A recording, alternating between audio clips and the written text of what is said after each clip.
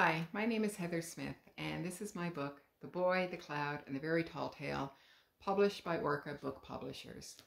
This book is set in Newfoundland in the 1920s, and it's about a boy who is on a search.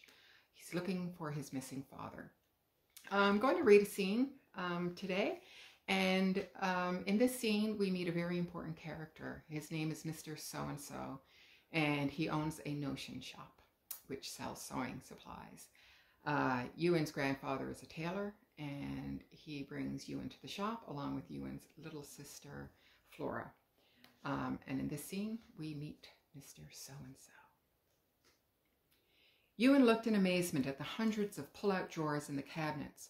No wonder Grumple preferred this place over the mercantile. Mr. So-and-so must have thousands of notions. Further in and along the back wall, there was a long counter behind which they expected to see Mr. So-and-so. Well, said Ewan, where is he? Suddenly, there was a loud thud against the window. Jesus, Murphy, cried Grumple. There, plastered head to toe against the pane, was a man Ewan could only assume was Mr. So-and-so. Looking a bit like a dazed bird with his face squished against the glass, Mr. So-and-so managed a small wave before pointing to the window latch. Flora ran to open it. A second later, the shop owner tumbled rather ungracefully into the room. Help him, cried Grumple. But there was really no need. Mr. So-and-so broke his own fall with an expertly executed side roll.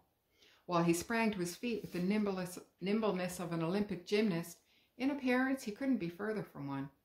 Wearing a cream-colored fisherman's sweater and a navy wool sailor beanie, he looked like he'd be more comfortable captaining a fishing vessel than balancing on a high beam.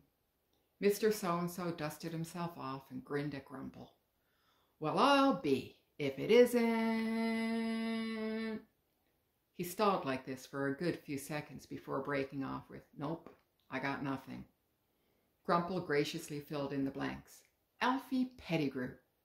Alfalfa Gettyproo, said Mr. So-and-so. Of course. Grumple seemed amused by the flippant mispronunciation of his name, but it annoyed Ewan greatly. Flora, on the other hand, was neither amused nor annoyed.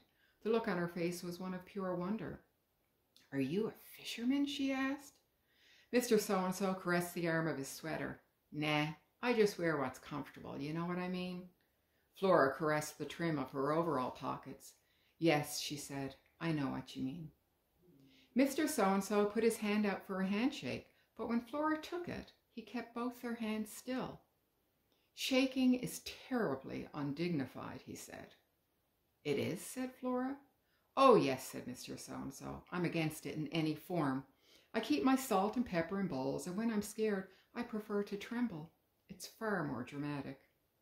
When I'm scared, I bite my fingernails, said Flora. Mr. So-and-so examined the little fingers that wrapped around his hand. Repulsive habit, he said. Not to mention short-sighted. How are you supposed to pick wax out of your ear with short nails? Now, he said, ignoring the disgusted look on Flora's face, how about we introduce ourselves? My name is Mr. So-and-so. I am the proprietor of this fine establishment. And you are? Flora, said Flora. And this is Ewan. We keep our salt and pepper in shavers. Thank you for listening.